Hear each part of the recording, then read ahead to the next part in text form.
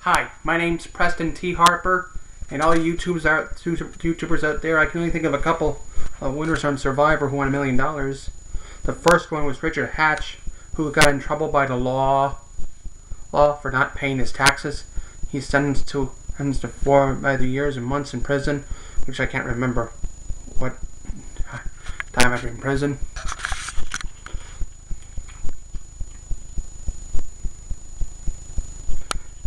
And Denise Stapley is a sex therapist from Cedar Rapids, Iowa, who won a million dollars, beating Lisa Whelchel.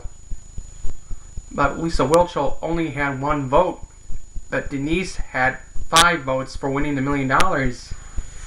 And Denise, so Denise, I want to say this to you. I know I don't. I know I want to. I know my father doesn't want to. Doesn't want to bother. Doesn't want to give me in, any personal information about you. But I want to say this. Congratulations, Denise Stapley. You've won a million dollars on Survivor. And when are you to get on a next game show? When are you to be on another game show?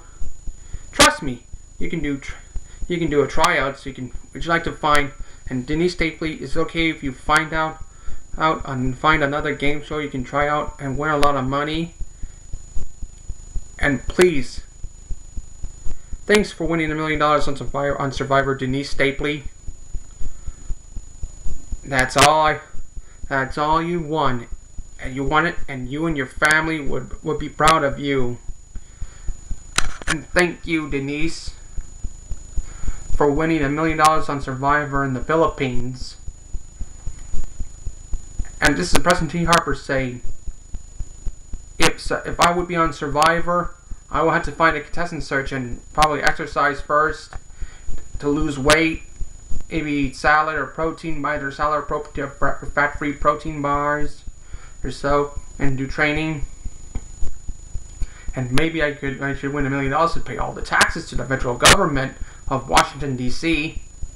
Maybe I could be on it. Who knows anyway, YouTubers. And thanks for YouTubers. That's a wrap. Okay, that's a wrap, please.